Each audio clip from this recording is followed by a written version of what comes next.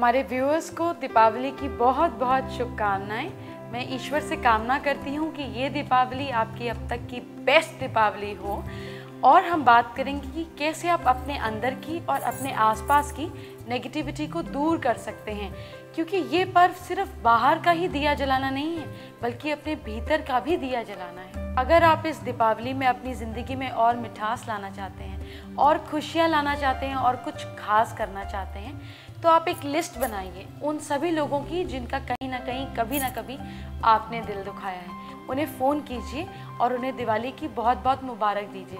आप देखिए आप कितना हल्का महसूस करेंगे और ये दिवाली अपने आप कुछ खास हो जाएगी।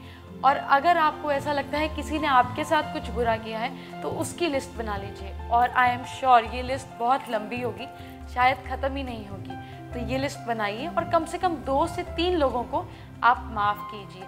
और यही नहीं, सिर्फ़ मन ही मन माफ़ करना है। आपने उनको फ़ोन करना है लेटर करना है ईमेल करना है, किसी भी ज़रिए से उनको कांटेक्ट करना है और उनसे कांटेक्ट बनाने की कोशिश करनी है, यानी कि अपना आपसी मतभेद को ख़त्म करना है। ये आप करेंगे इस दिवाली को कुछ खास करने के लिए, अपने अंदर की नेगेटिविटी को ख़त्म करने के लिए। तो अब तक तो हमने बात करी, कैसे हम अपने अंदर की नेगेटिविटी को ख़त्म करेंगे।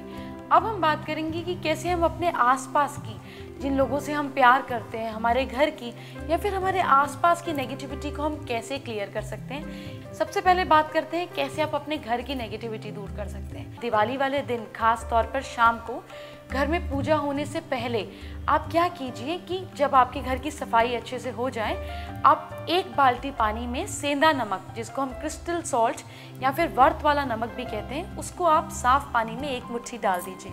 उस पानी से आप अपने घर में पोछे लगाइए और देखिए कि हर कोने कोने तक ये पोछा लगा हो।